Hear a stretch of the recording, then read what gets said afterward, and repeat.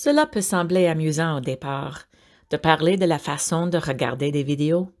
Nous faisons tous cela parfois plusieurs fois par jour, n'est-ce pas? Mais apprendre à partir de la vidéo est une activité différente de celle de regarder une vidéo pour le fun. Si tu es comme moi et mon fils, nous regardons souvent des vidéos sur un téléphone ou une tablette, en même temps que nous envoyons des messages à des amis, regardons la télévision ou jouons à un jeu. Cela ne fonctionne pas très bien lorsque tu écoutes une vidéo pour une cours, par exemple. Tu veux t'assurer que regarder la vidéo est la seule activité que tu fais et que cette activité est plus que simplement cliquer et jouer et s'asseoir pour être diverti. Le pouvoir de la vidéo réside dans le contrôle que tu en as.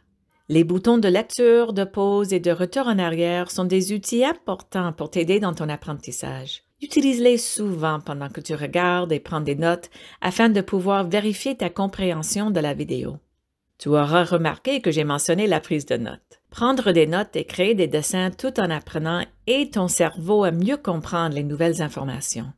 S'allonger sur le sofa peut être confortable, mais cela peut aussi compliquer la prise de notes pendant l'apprentissage. Alors, installe-toi dans un endroit où tu pourras facilement écrire ou dessiner tes notes. Mets tes écouteurs pour limiter les distractions extérieures si tu ne peux pas trouver un endroit calme dans ton environnement. Et comme pour toutes les notes, L'organisation des informations que tu prends à l'aide de titres, de sous-titres et de l'heure à laquelle tu les as vues dans la vidéo peut t'aider si tu as des questions à poser à ton enseignant tout simplement pour retrouver rapidement des informations importantes quand tu étudies pour une évaluation finale ou pour un projet.